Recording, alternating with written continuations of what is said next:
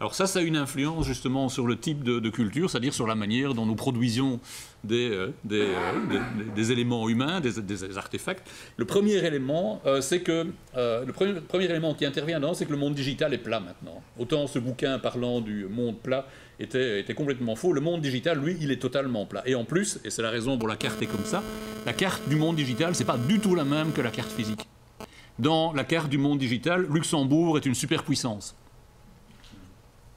Voilà. Et donc il y a un nombre colossal de sociétés qui sont établies à Luxembourg, il y a un nombre énorme de transactions qui passent par là. Luxembourg est une superpuissance digitale. Donc le monde digital est plat, ça veut dire que tout circule, ça veut dire qu'à peu près tout le monde peut être mis en contact avec à peu près n'importe qui.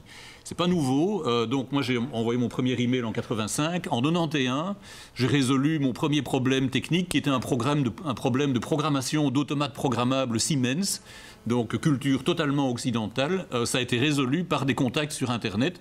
Et il y a trois personnes qui m'ont envoyé des réponses à ce problème. Un venait du Japon, l'autre travaillait en Alaska et le troisième était en Australie.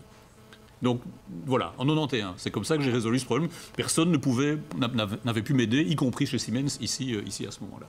Complètement plat et ce n'est pas nouveau. Le deuxième point, c'est multiculturel au sens traditionnel des choses. Euh, donc tu as de la représentation hiérarchique. Cette représentation hiérarchique, c'est notre mode de pensée à nous. On a, voilà, ça y est, c'est toute notre culture. Tout a été pensé de cette manière-là. Au point de vue religieux, eh bien, il y a Dieu, il y a le clergé, il y a les croyants. On a une structure euh, hiérarchique. C'est vraiment complètement imbriqué dans notre, notre manière de penser. C'est pas du tout le mode de pensée, c'est pas du tout le mode de représentation du monde des bouddhistes ou des hindouistes. Le monde est cyclique, il n'y a pas vraiment de hiérarchie, c'est un grand tout, ils ont une approche beaucoup plus holistique. À partir du moment où ils commencent à faire de l'informatique, à être présents dans ce monde digital où nous sommes, euh, et être présents de manière majoritaire. Donc euh, nous sommes globalement 1,2 milliard, 1,3 milliard euh, d'occidentaux, entre guillemets, au sens large, présents sur Internet.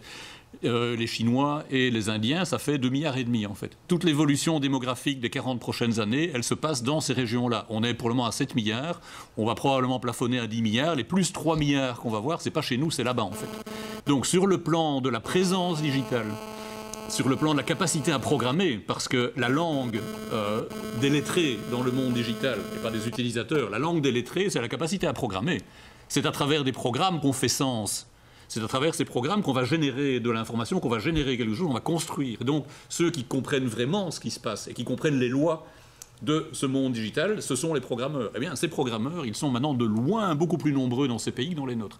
Et comme bah, ils programment aussi vite que nous, le nombre d'applications que nous allons voir arriver dans les prochaines années, elle va être fondamentalement déterminée par des gens dont la culture, dont la représentation du monde est complètement différente de la nôtre.